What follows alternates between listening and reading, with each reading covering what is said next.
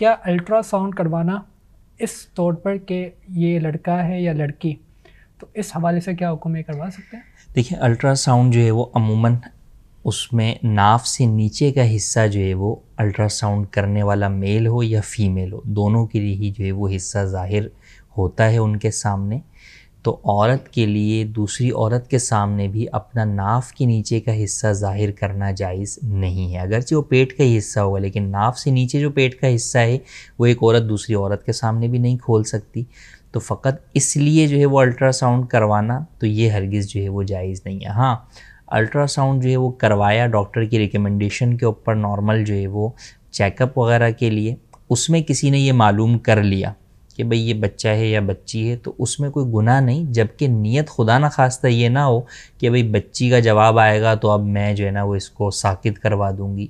अगर ऐसी कोई नीयत है तो फिर अंडरस्टूड सी बात है कि हरगिज़ जो है वो दुरुस्त नहीं है कि बच्चा हो या बच्ची हो, दोनों ही अल्लाह पाक की जो है वो नेमत है। तो लिहाजा ये सुनकर कि बच्ची है, अब जो है वो गमज़दा हो जाना, या खुदा न खास्ता उसको ज़ाया करवा देना, या खुदा न खास्ता उसकी केयर ना करना कि अब भले जो है ना ये ज़ाया भी हो जाए तो मुझे कोई परवाह नहीं है। तो ये इकदाम बहरल जो है वो जायज़ नहीं